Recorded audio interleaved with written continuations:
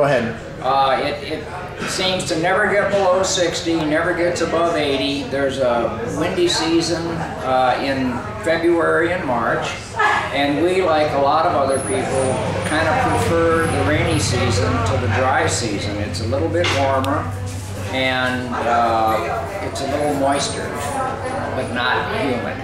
Okay.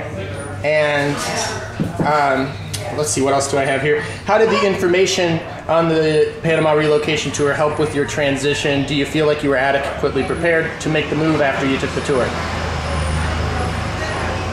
It seemed to answer all of our questions, and if not, Jackie was so available. She took our phone calls, she responded to our emails, she gave us um, insight into a better way to approach things than we might have come up on our own.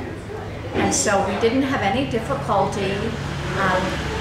The, the worst thing that happened for us was that our home sold in two days. and we found ourselves having to spend 10 days out of the 30 that we had until closing coming down to find a rental right during a very high season.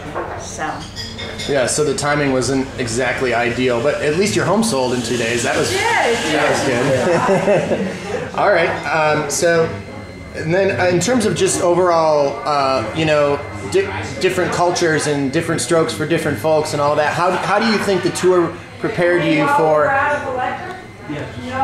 How do you think the tour prepared you for uh, in terms of setting setting the expect